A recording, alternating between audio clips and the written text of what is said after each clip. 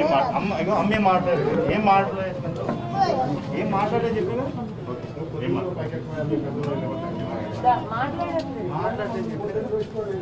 ఏం మాట్లాడు okay don't గోరా గోరా గోరా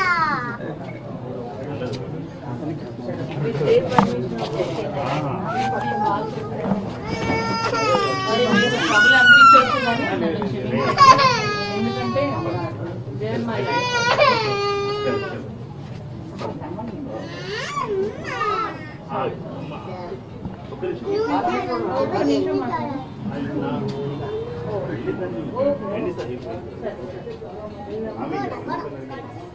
మేడం మాట్లాడు. అంటే భయ్యా గోరా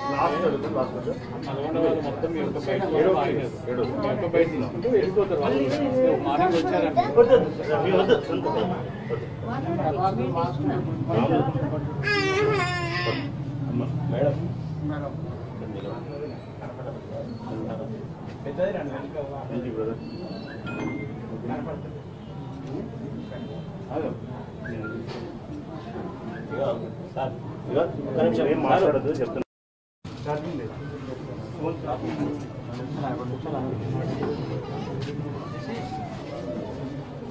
ఛార్జింగ్ పెట్టుకున్నా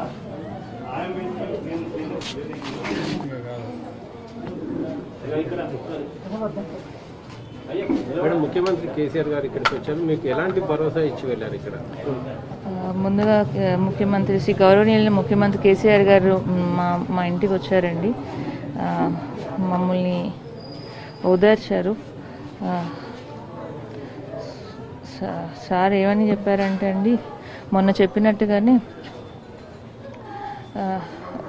పిల్లల గురించి కానివ్వండి నా గురించి కానివ్వండి మా ఫ్యామిలీని అందరినీ భరోసాగా ఉంటామని చెప్పారు. అమరులైన సంతోష్ని గారిని సంతోష్ బాబుని అయితే తీసుకురాలేం కానండి. అది కాకుండా పిల్లల పిల్లలకి భవిష్యత్తులో ఎలాంటి సహాయం కావాలన్నా సాయం చేస్తామని చెప్పారు. అలాగే ఐదు కోట్లు ప్రణ అనౌన్స్ చేసినట్టుగా నాలుగు కోట్లు మా పిల్లల పేరు మీదను ఒక కోటి మా అత్తయ్య గారి పేరు మీద చెక్ ఇచ్చారండి. నాకు గ్రూప్ వన్ లో ఏదైనా ఉద్యోగాన్ని ఇస్తా అని చెప్పారు. అది నా ఛాన్స్కే వదిలేశారు. సార్ ఏం చెప్పారంటే ఇప్పుడు నేను చెప్పలేను నన్ను రిక్వ నేను చెప్పలేను అంటే నాకు టైం ఇచ్చారు. మీరు ఆలోచించుకోండి ఏది అడిగితే అది మీ కన్వీనియంట్గా ఇస్తామని చెప్పి చెప్పారు. జూబ్లీ. జూబ్లీ. కూడా అదే విధంగా ప్లేస్ ఇచ్చారండి. ఏడు వందల పదకొండు గజాలది.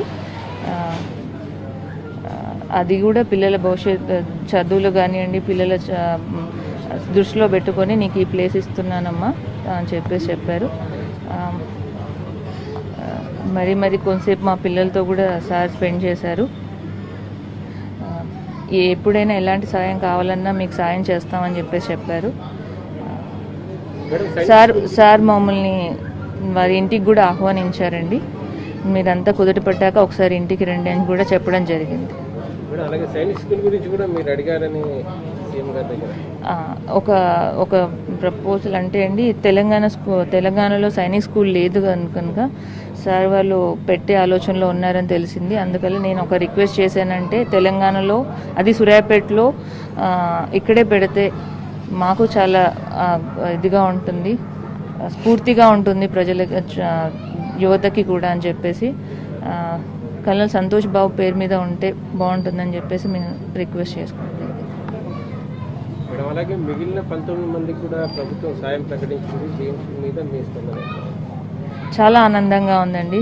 అసలు ముందు నాకు చెప్పాలంటే సీఎం గారు వెంటనే అంటే అమరులైన ఒక్క సంతోష్ బాబు గురించే కాకుండా తనతోటి తన తోటి జరిగిన యుద్ధంలో అమరులైన జవాన్లను కూడా దృష్టిలో పెట్టుకొని వాళ్ళ పరిస్థితులను కూడా దృష్టిలో పెట్టుకొని సార్ వెంటనే వాళ్ళకి కూడా పది లక్షలు ఇస్తామని ప్రకటించడం జరిగింది. అది నాకు ఇంకా చాలా ఆనందాన్ని ఇచ్చింది. సార్ యొక్క గొప్పతనాన్ని తెలియజేస్తుంది. ప్రదర్శనగా నిప్పుకోవచ్చు ధన్యవాదాలు.